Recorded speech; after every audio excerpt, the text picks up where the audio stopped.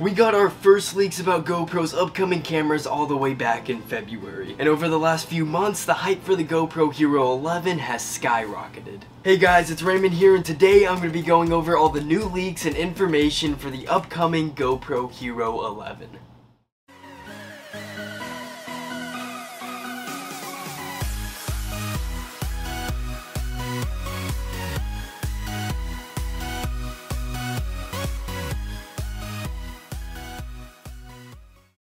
It's no secret that GoPro's competition is the strongest it's ever been. There's an endless amount of action camera options out there, and in order to stay on top, GoPro has to keep releasing new and innovative camera lines. We know we can expect more than just a new Hero camera this year, as some leaks have showcased a first ever GoPro modular camera and a new drone coming out. However, today's focus is on the Hero 11, so if you want to learn more about GoPro's other camera lines, make sure to subscribe to my channel. Last year's Hero 10 Black was GoPro's first camera to record 5K video, while also introducing a GP2 processor, 23 megapixel photos, and Hyper Smooth 4.0. So you might be wondering what will GoPro do with the Hero 11? The most obvious change will be in its specs. I don't think GoPro will ever release a new Hero camera without updating the specs, and this camera will keep the streak going. You can expect the Hero 11 to film in at least 5.7K 60, with 6K 30 30 being possible as well. I saw one leak suggesting that 6K 60 will be added,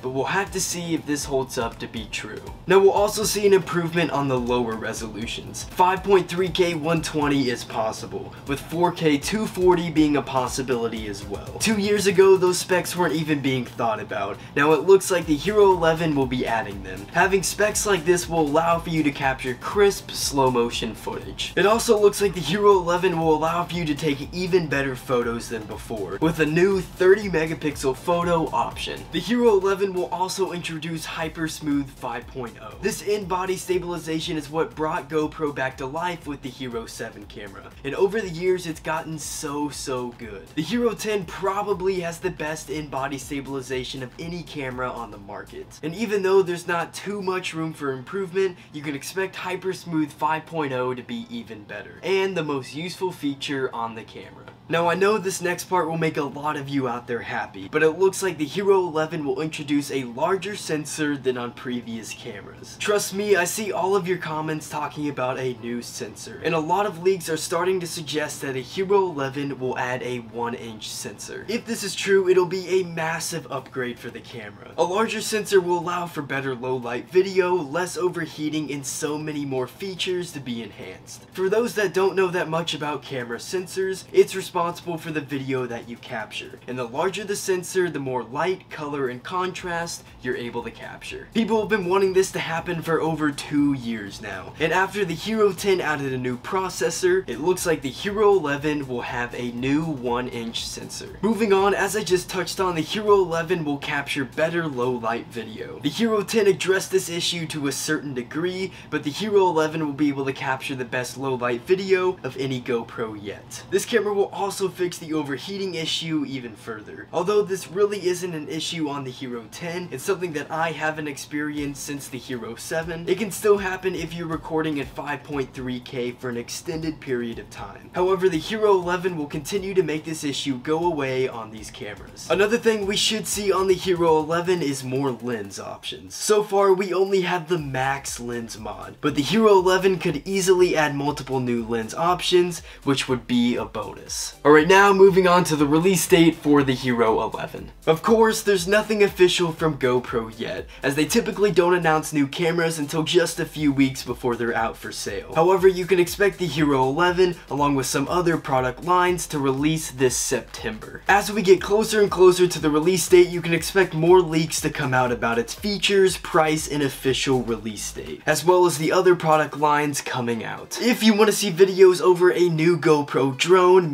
2, and more, make sure to leave a like on this video.